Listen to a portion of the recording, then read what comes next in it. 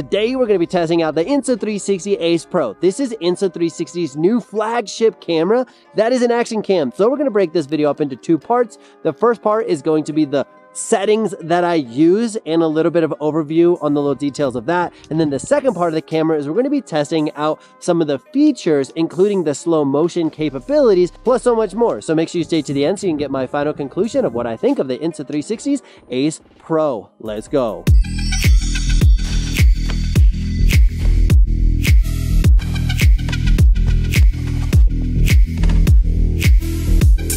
My name is Tommie Bennett, and I've been snowboarding for the last 25 years. And for the last 15 years, I've been coaching snowboarding and been using a lot of cameras and filming and editing. So I definitely have a pretty good sense of what I'm looking for when it comes to cameras and capturing the moment. So my goal is to always shoot at the highest resolution possible. So luckily, this camera does shoot in 8K, but sometimes I want to do slow motion. And for the most part, I'm going to be filming in 120 frames per second. Now, not every single single video that I post is going to be slow motion. But what's nice about shooting at 120 frames a second, especially when it comes to snowboard and action shots, I always have the flexibility in the post-processing software that I use, Final Cut, for those that are wondering, I have the ability to slow it down up to about 25% of the original length of the clip, so I can slow it down and get all those really cool shots, especially with the detailed movements if I'm trying to break down a trick. If I can, I do shoot in 8K, but when no one's watching videos in 8K yet,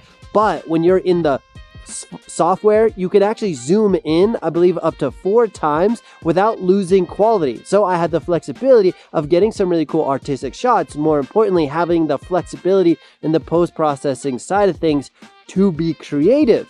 That's that's one of the sickest parts about this camera is just having the ability to have high resolution videos. So when I'm using this camera, you're also gonna notice how touch sensitive this is in a very good way. It's extremely responsive. Turning this thing on, pressing record is instantaneously going to record. So I usually just pop it over to video. Now here's one thing that I just want you to be clear of. If you shoot in slow motion, there is a slow motion setting in here. You will actually not record audio. So if you just shoot in video mode and you click this bottom thing right here, it gives you all these super awesome options, which includes 4K, and then you swipe bottom uh, over and you're gonna shoot in 120 frames a second. But if you're in video mode, that allows you to have the audio, which, you know, we can hang out, talk, vibe, especially for the content that I make includes so much talking that having the audio is obviously gonna be very important. Next, I like shooting in the stabilization that is high because I just want to be able to hand my camera to a buddy and that they can just effortlessly point the camera in my general direction and get the shot. We will be testing out the different stabilization options here in a little bit so you can just see the contrast but I like just shooting in the high stabilization, just keeps it easy. Then, one of my favorite features of this camera is the ability to pop up this screen, and then if I'm taking a video, taking a selfie, putting it on a tripod, I have the ability just to be able to see myself, and I can set up the frame appropriately. Hey, I want to shoot in thirds, I want to shoot a little bit more leading lines, I want to be in the center. Uh, is my arm far enough away? I have all these answers just by looking at myself. And one little secret is if I have somebody holding the camera and they're filming me as I talk, I actually like flipping the screen on me so I can verify exactly where the shot is because sometimes people will film it where like all of a sudden you're like heads cut out and you're shooting like way down here and it just doesn't look sick. So try to do your best to just get the shot to look as clean as possible. Now let's dive into testing out the stabilization and the slow motion. Let's go. First, we're going to be looking at the 4K 120 frames a second shots. As you can see here, it looks pretty darn crisp and it's keeping its high quality resolution even at 120 frames per second. And I did slow this down in Final Cut about four times to get this slow motion capabilities. Now the next test that I wanted to compare was the footage at 1080, but we're shooting in 240 frames per second. This means that we can slow the footage down 10 times. How incredible. I also love the fact that you can slow it down to get every little detail of what's happening. I also wanted to compare the shots between what it would be slowed down four times like here, and then this is the 10 times slower. So just a cool comparison to show how much detail you can really see when you add more frames per second. All right, now we got my buddy Joey here. He's gonna be dropping in.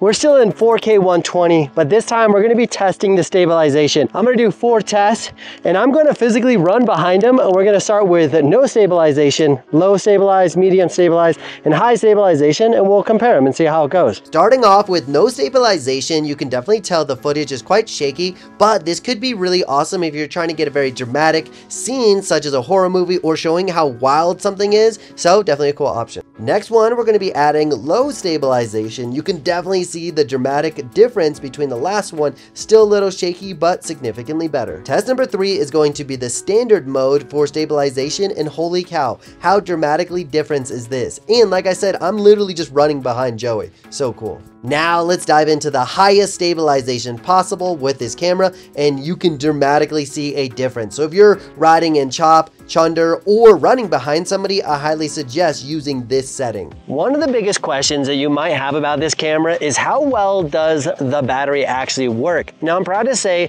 that I've tested this camera at negative three degrees with the standard battery that comes with it and it absolutely functions without a problem. Now I have dealt with some of the other action cams where the battery doesn't even function at 35 degrees. So having a battery that will work in negative degree temperature has been such a blessing because it's so frustrating when you're just trying to get the shot, capture the moment, and you're unable to. So this thing has been super awesome. And as a bonus, one of the cool things about this camera is if you plug it in, in 22 minutes, you can charge the battery up to 80%.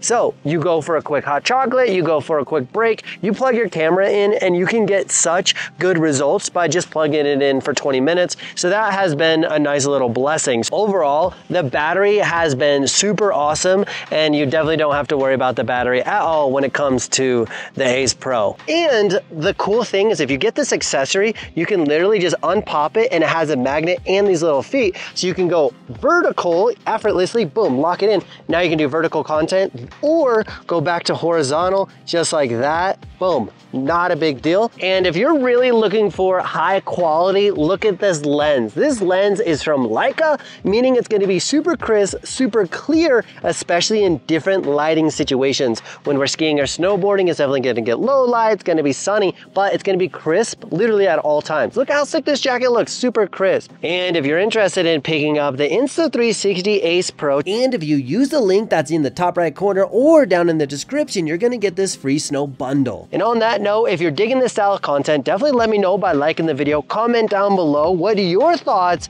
about the Insta360 Ace Pro, and I post videos all the time, so definitely follow because my goal is to make you as awesome as possible. And by follow, of course, I mean subscribe.